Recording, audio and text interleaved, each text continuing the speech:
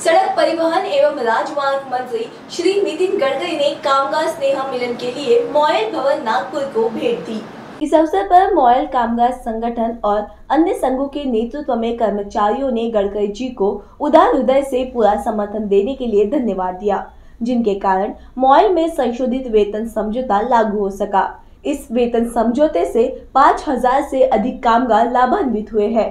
कर्मचारी संघों ने श्री ताना तानाजी वनवे मनपा के पूर्व विपक्षी दल नेता के प्रति भी कृतज्ञता व्यक्त की, जिन्होंने वेतन समझौते को लागू कराने में सतत सहयोग दिया। गडकरी ने अपने संबोधन में मॉयल के प्रदर्शन की प्रशंसा की और आह्वान किया कि देश में मैग्नीज के आयात को कम करने के लिए ज़्यादा से ज़्यादा उत्पादन वृद्धि का प्रयास करें। इस कार्यक्रम में मुख्य प्रबंधक निदेशक और कंपनी के कार्यकारी निदेशक उपस्थित थे।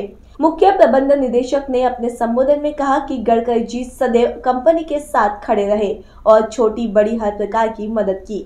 इसके लिए उनका आभार मान रहे हैं। कार्यक्रम का समापन निदेशक, मानव संसाधन, श्रीमती उषा सिंह ने धन्यवाद ज्ञापन से दिया। उन्होंने कहा कि ये कार्यक्रम और भी खास हो गया है, क्योंकि कंपनी ने कुछ दिन पूर्व ही 22 जून 2022 को कंपनी का 60वां स्थापना दिवस मनाया। ऑयल लिमिटेड भारत सरकार के इस्पात मंत्रालय के प्रशासनिक नियंत्रण के तहत आने वाली एक अनुसूची ए मिनिरत्न श्रेणी वन सीपीएससी है। मॉयल देश में मैग्नीज, अयस्क की सबसे बड़ी उत्पादक है। ये महाराष्ट्र और मध्य प्रदेश राज्य में 11 खदानों का संचालन करती है। मॉयल के पास देश के 34 प्रतिशत मैग्नीज, अयस्क का भंडार है। ये घरेलू उत्पादन में 45 प्रतिशत योगदान दे रही है। कंपनी का वित्त वर्ष 2024-25 तक लगभग दो गुना कर 25 लाख मेट्रिक टन करने का विजन है।